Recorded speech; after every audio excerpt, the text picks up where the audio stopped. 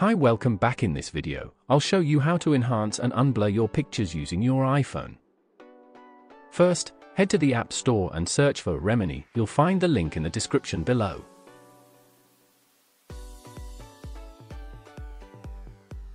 Download and open the app.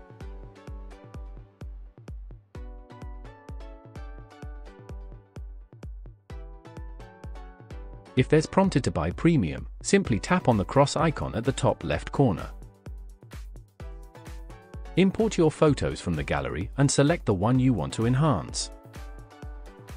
Tap on Enhance, you may have to watch an ad, as the app is completely free.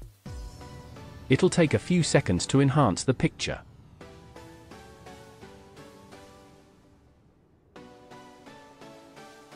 You can compare the before and after by sliding the two arrows.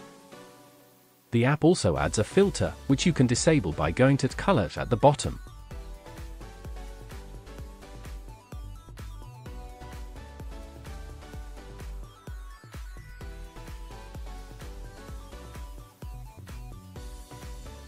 To download the picture, tap on the download icon at the top right corner.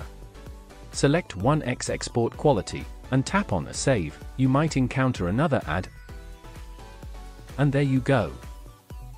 Your picture is now saved in the gallery. Much clearer and unblurred. Thanks for watching please subscribe, like, share and comment.